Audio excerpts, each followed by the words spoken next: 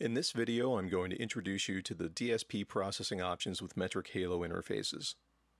All of our boxes come with a 2D card, which is a DSP processor inside the interface that lets you run plugins directly on the hardware. This takes some of the processing load off your computer as well as letting you work in a near zero latency environment. You access the plugins through the inserts in the mixer, just like most common DAWs. And as you can see, we have a number of categories, but a lot of the plugins are grayed out and unavailable. That's because these are only available with the Plus DSP license, which I'll talk about in a minute. We pull up a plugin, and I just want to cover the basic UI elements.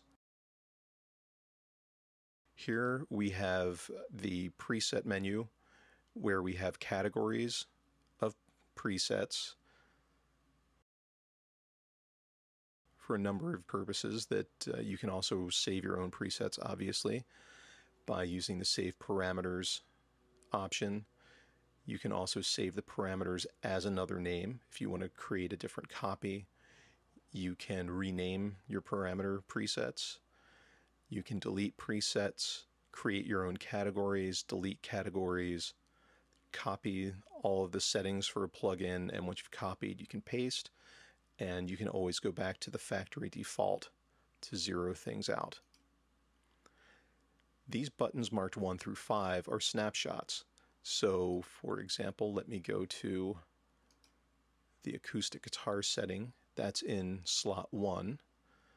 Now if I go to slot 2, I have the same settings there, but I can change my settings in any of the sections and then go back to slot 1 and it says I originally recalled and 2 will recall the modified settings.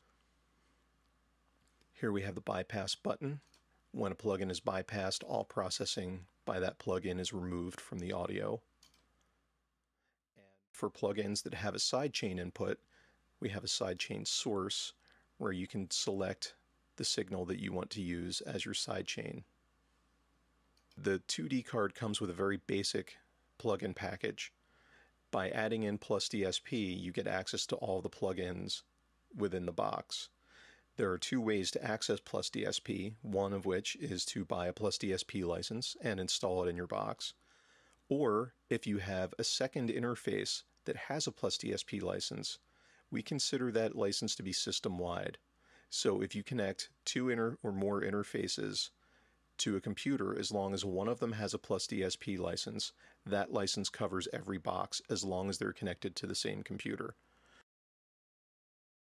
Right now I'm working with a LIO-8, which does not have a Plus DSP license, and I'm going to plug in my ULN-2, which does have a license. And when I go back to the Leo, as you can see, I now have all of those Plus DSP plugins available, as well as the plugin macros, which are pre-configured more complex effects that we include. And we have the graph. So let me insert a graph and I'll show you how you can work with that. This is sort of the same as the plugin UI in that we have our inserts here which list all of the plugins that are available to me to use within the graph. And we have our patch menu, which again has categories full of presets and the ability to save graphs, create new categories, and copy them. A graph is a DSP processing area where signal comes in on the left and exits on the right. These inputs and outputs are connected with virtual wires, if you hold down control and click on a destination, this will disconnect the wire. All you have to do is click and drag from the destination to drag a new wire to a source. You can also click on a source to drag to a destination. If I connect a source to another destination, it creates a mult. So now input 1 is feeding output 1 and 2. It's important to know that a destination can only be fed from one source one source can feed several destinations. When I made this mult and drug from input 1 to output 2, that automatically disconnected output 2 from input 2. Now, if I drag from input 2 to output 1, my previous path is disconnected, and I've cross-patched inputs 1 and 2. So if I was to run some music, when I bypass this, you'll hear the uh, channel swap.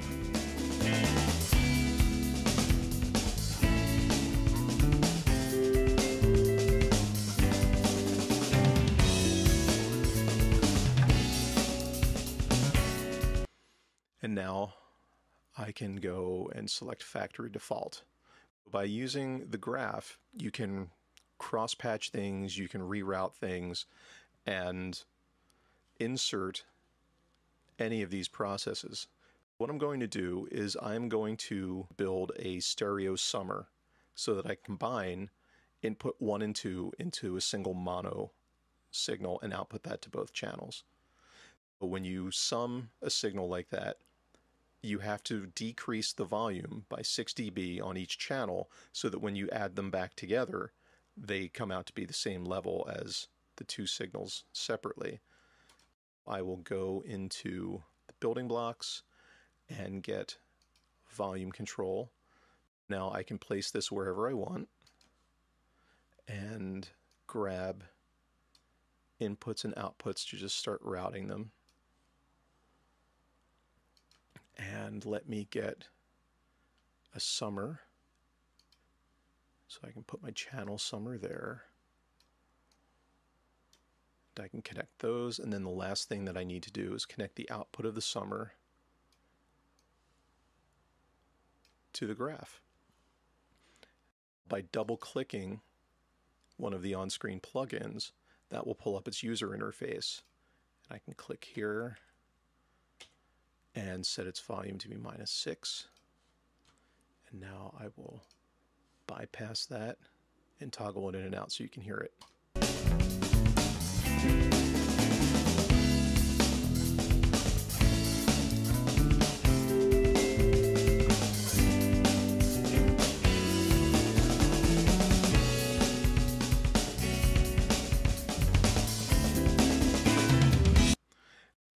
Things that you can do is you can work within a graph while audio is running. I am going to let music run and put in an EQ and cable it up all while I'm passing audio so you can hear what that's like.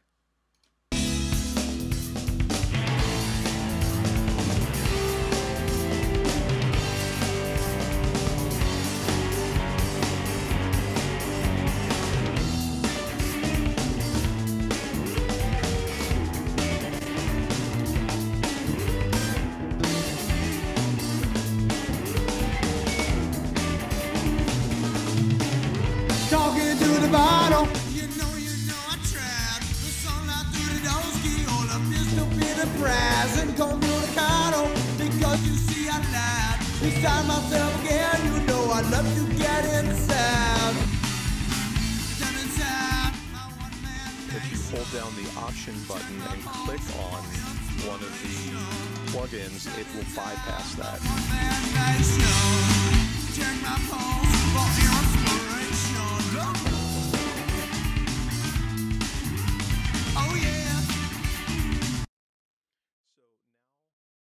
I've decided I don't want that EQ in there. I can patch around that. When the plugin is highlighted in blue, if I hit delete, that will just delete it out. This is the basics of using DSP and the graph and how you can build your own processors. And as we go along, you're going to learn how to build more complicated processes to do different things for your audio one of the advantages of doing this is that you can build the processors that you need to fix your problems rather than relying on what someone else thinks you need to do. So sit back and get ready to learn what you can do with Plus DSP.